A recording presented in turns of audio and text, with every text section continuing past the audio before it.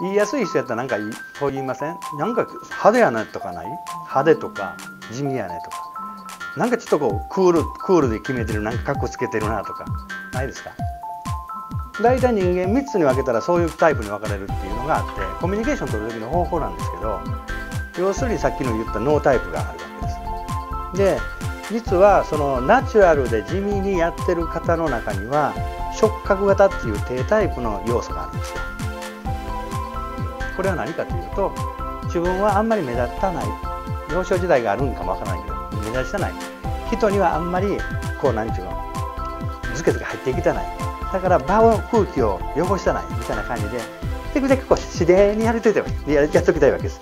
だからメイクもそういう傾向になるんです。よでその方に教えるメイクがあって低タイプのメイク。これがまずあるんですよ。で派手でとにかく見た目で勝負したいって人何人ぐらいいてますかこの中に。これ僕なんかもう見た目でしょ？視覚型なんですよ。僕なんかもうもうとにかく視覚型で走ってるんでパッとこう物事見ててもああの色いいなあのデザインいいなもう顔なんです車もそう。あんまりエンジンとか関係ないですよ。もうこれに乗ってるこのステータス感がいいみたいな分かるでしょ？これ視覚型っていうんですね。でそういう方って時間のスピードが3倍速でものすごいせっかちなんですよ。でそういう方と対応する時はあこの方結構肌身やな。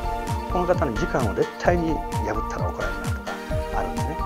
で褒め方があるんですよ。とかいういろんなその会話の方法があります。でその方のメイクをじゃあどうしたらいいかっていった時に周りからこう思われてるからちょっと低タイプ寄りのメイクにしませんかという提案がまず一つできます。だけど私はもう自分は名タイプやからこれでいえのっていう人もいてますよね。ああいう方にじゃあ低タイプしなさいと怒られる。でこれもコミュニケーションのメイクなので皆さんはじゃあどうしたらいいんですかって言った時は僕はこういうんです。3パターンのメイクを学んだらご自身が自由自在にどんなメイクもできますよねまず。それとその傾向のメイクは分かるんです。この方のメイクのこのやり方はこっち傾向のタイプやなってそうすると声のかけ方が変わりますすごい雰囲気ですよねいつもね。っていう雰囲気で褒めてあげるのとなんかすごいかっこいいですね。っていう褒め方と分かります綺麗で。すねこの色とかもう一つはなんかすごく聡明な感じに見えますよね実は当たってるように思うんですけどね。こうやって。そういう褒め事が一番嬉しいかなと思いながらこう喋ったりするんですが、まあ、いわゆるそういう風な会話の仕方があるということです。でそれが、えー、先ほど言ったわびとというねこのカリスマわびと塾っていうのが一番のメイクの基本のちょっと深いところなんです。皆さんはまだまだそこまで今日はいけないいけないですよ。眉描くのに必死やから。ね。